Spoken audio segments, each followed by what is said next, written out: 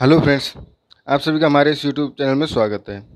Friends, आज की video में जो पढ़ने वाले हैं, वो I I T JAM two thousand thirteen का मैथमेटिक्स का पेपर पढ़ रहे हैं। और क्वेश्चन नंबर वन है, जो उसमें वो है लेट ए बराबर one three one one minus one five one one three and V V a vector space of all X belongs to R Q such that A X बराबर zero then dimension of V जो है, उसकी जो we है, उसकी जो dimension है, वो क्या होगी? तो फ्रेंड्स, पहले डायमेंशन के लिए हम क्या कर रहे हैं? रैंक निकालते हैं। इस मैट्रिक्स की रैंक क्या होगी? इस मैट्रिक्स की रैंक निकालने के लिए हम क्या करते हैं? इसको इक्वलेंट फॉर्म में बदलते हैं। इक्वलेंट फॉर्म क्या होती है फ्रेंड्स? इक्वलेंट फॉर्म ऐसी होती है।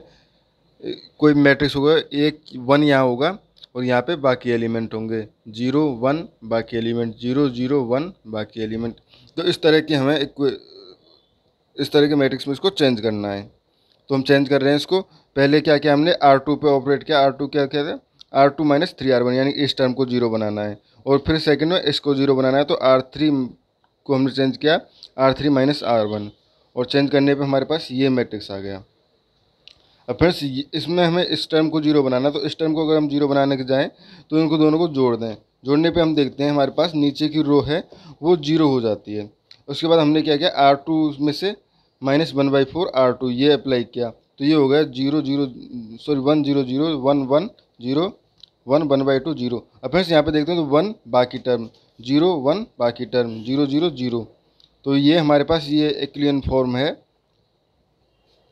तो इक्वलियन फॉर्म में अब इसकी रैंक क्या है हमारे पास? क्योंकि दो रो रो हैं, वो ऐसी रो हैं जिसमें नॉन ज़ीरो एलिमेंट है। तो ये हमारे पास इसकी रैंक आ चुकी है टू नल्टी वन अब फ्रेंड्स रैंक हमारे पास टू आ चुकी है तो डायमेंशन ऑफ़ बी बराबर क्या होता है?